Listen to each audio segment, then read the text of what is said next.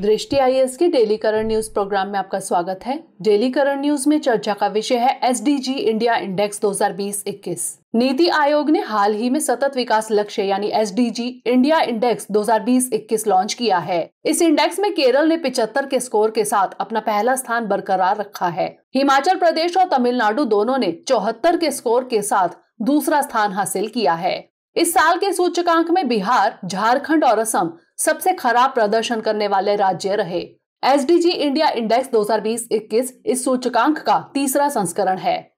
यह इंडेक्स राज्यों और केंद्र शासित प्रदेशों की प्रगति का मूल्यांकन, सामाजिक, आर्थिक और पर्यावरणीय मापदंडों पर करता है। एस इंडिया इंडेक्स का विकास संयुक्त राष्ट्र के सहयोग से किया गया है। यह सूचकांक सतत विकास लक्ष्यों की दिशा में राष्ट्रीय और उपराष्ट्रीय स्तर पर देश की प्रगति को मापता है। एस इंडिया इंडेक्स के पहले संस्करण, यानी 2018 से 19 में 13 गोल्स उनतालीस टारगेट्स और बासठ इंडिकेटर्स को शामिल किया गया था इसके दूसरे संस्करण में 17 गोल्स चौवन टारगेट्स और 100 इंडिकेटर्स शामिल थे इस बार के संस्करण में 17 गोल्स 70 टारगेट्स और 115 इंडिकेटर्स शामिल हैं। एस का गठन एक अभूतपूर्व परामर्श प्रक्रिया के माध्यम से किया गया है, जिसमें 2030 तक 17 गोल्स और एक सौ उनहत्तर संबंधित टारगेट्स हासिल किए जाने हैं।